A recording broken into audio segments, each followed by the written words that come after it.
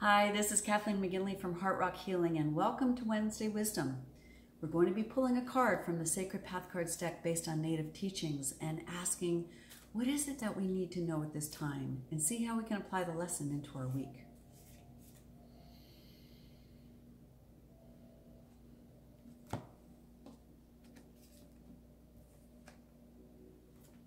All right.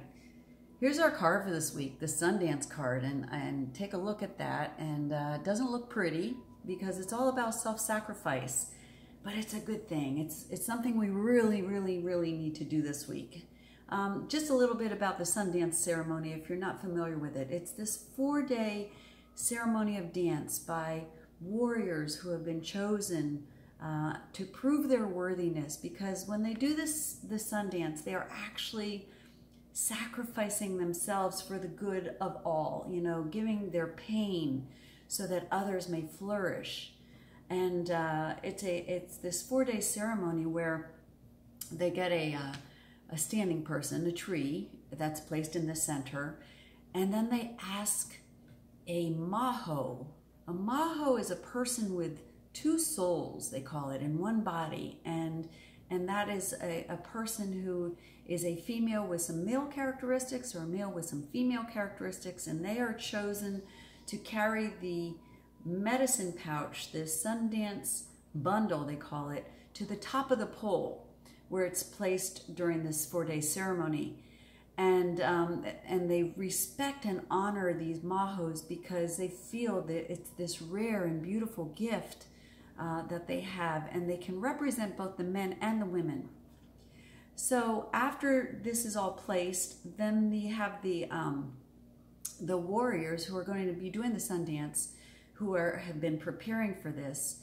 Um, they have these piercings, as you can see, in the pectoral muscles. So they have these, uh, you know, take these awls, I believe they call them, and, and, and go right through the connective tissue.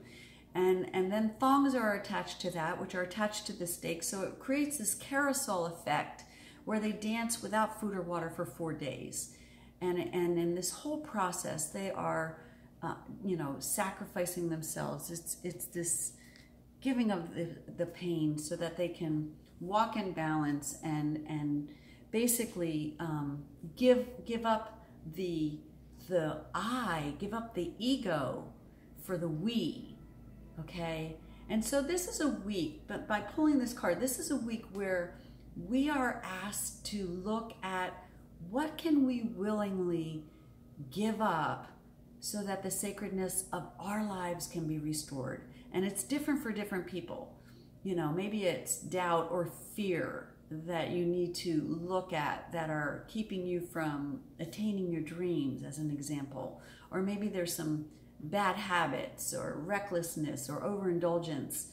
Um, so take a look this week at what it is that you need to willingly give up so that you can restore the sacredness of your life.